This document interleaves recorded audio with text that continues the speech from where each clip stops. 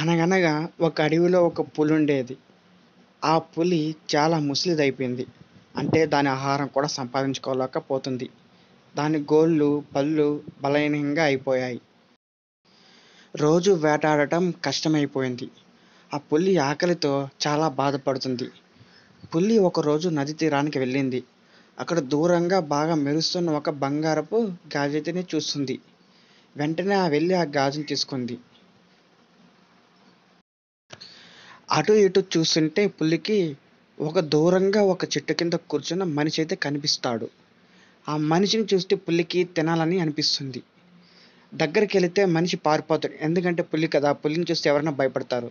భయంతో కొంచెం దూరంగా నుంచొని ఆ మనిషిని పిలిచింది.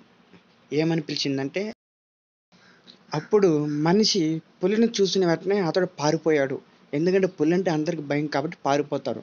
కానీ ఆ పులి తన దగ్గర ఉన్న గాజును చూపించింది. నీకు ఇది కావాలని అడిగింది. నీ దగ్గరకు వస్తే నువ్వు నన్ను తినేస్తావు నేను రాను అన్నాడు మనిషి. చూడు అతనికి ఆశ అనేది కల్పిస్తుంది పులి. నిన్ను చూస్తే యువకుడిలా ఉన్నావు బలంగా కనిపిస్తున్నావు. నీకు నేనంటే ఎందుకు భయము? నేను చూడు ఎంత ముసలి దాన్ని అయిపోయాను అంది పులి. ఆ మాటలను వింటున్నాడు మనిషి.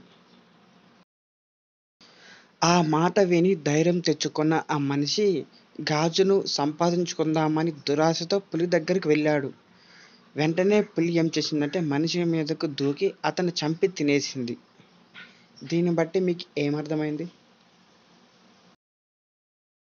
దీంట్లో ఉన్న నీతి ఏంటంటే నిజంగా దురాశ దుఃఖానికి చేటు. అంటే చాలామంది దురాశకి ఆశపడి వెళ్తుంటారు. నాకు అది కావాలి నాకు దురాశ ఎక్కువ నాకు మొత్తం కావాలని దురాశపడి వెళ్తుంటారు. అలా వెళ్ళారంటే దురా దుఃఖానికి చేటు. చూడు ఇప్పుడు ఈ పులి మనిషికి ఎలా జరిగిందో అలాగే అందరికీ జరుగుతుంది. కాబట్టి మీరు దురాశ పడకండి ఎక్కువ.